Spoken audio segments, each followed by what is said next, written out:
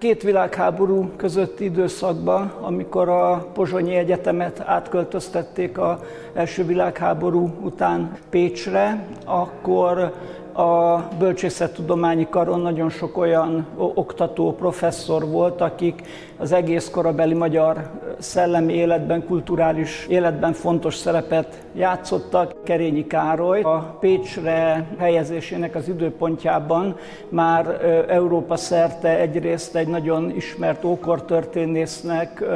görög irodalomnak, görög vallás történet kutatójának számított, emellett pedig Kerényiben mindig voltak ilyen irodalom szervező, kultúra szervező ambíciók, és a korabeli magyar irodalmi életnek a képviselőivel, Német Lászlóval, Szerbantallal és másokkal szintén szoros kapcsolatot alakított ki. A korabeli magyar tudománypolitikával Kerényi Károly nem értett egyet az akkori meglehetősen nacionalista tudományfelfogással, ezért elég sok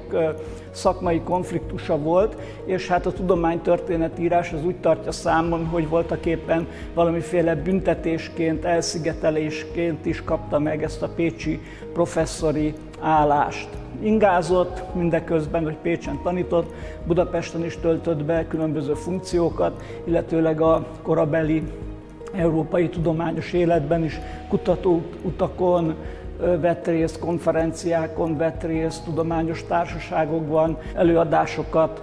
tartott. Kerényi, amikor itt elkezdett működni, akkor itt is próbált olyan változásokat hát előidézni, olyan dolgokat megszervezni, amiket ő kulturális szempontból, tudományos szempontból ideálisnak tekintett, és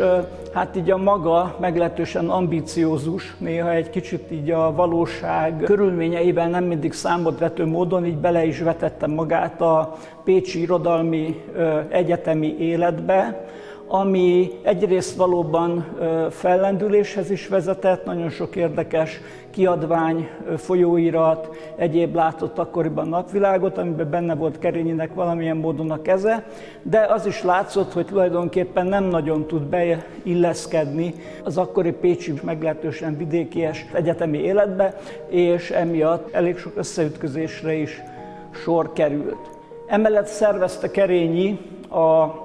Keszthelyi Nyári Egyetemet, ahol valóban a korszak vezető tudósai, kutatói tartottak előadásokat. Ugye ezek az idők akkor meglehetősen zűrzavarosak voltak, a második világháború közeledése is eléggé felforgatta a viszonyokat, és végül is a Keszthelyi Nyári Egyetemet, amit Kerényi akkor úgy jellemzett, mint egy fontos Dunántúli kultúrintézményt, az egyetem vezetése megszüntette. Aztán pécsi viszonyok is egyre inkább megnehezettek, és a, a teljesen váratlanul Kerényit áthelyezték 1940-ben a Szegedi Tudományegyetemre, és hát valójában Kerényi ennek a Pécs kinevezésnek se nagyon örült, tehát jobban szeretett volna nyilván a Budapesti Egyetemen professzúrához jutni, de a szegedi tanítást azt már kimondottan egy ilyen számüzetésként fogta fel. Végül 1943-ban kiküldték Svájcba egy nem nyilvánossá tett indoklással, hogy a nemzetközi tekintélyének köszönhetően próbáljon úgymond barátokat, támogatókat szerezni a magyar politikának, de ez valószínűleg már Kerényi is úgy élte meg, hogy emigráció, tehát hogy nem valószínű, hogy visszatér Magyarországra. És egyébként ettől kezdve Aszkónában, Svájcban élt tulajdonképpen haláláig, mint egy, tulajdonképpen mint egy magántudós, tehát akkor már nem tanított egyetemen, vagy csak így vendégekként, Másrészt viszont a közvetlenül a második világháború lezárulása után akkor visszatért Budapestre, nagyon szerette volna, hogyha megkapja a klasszika filológia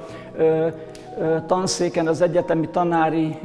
kinevezést, de hát ezt az akkori különböző intrikák következtében, valamint az akkor már egyre jobban érvényesülő kommunista tudománypolitika, kultúrpolitika mahinációinak következtében más kapta meg ezt a professzúrát, és akkor Kerényi visszament Svájcba. Az ő jelenléte a nemzetközi tudományos életben, nemzetközi kulturális életben tényleg rendkívül jelentős.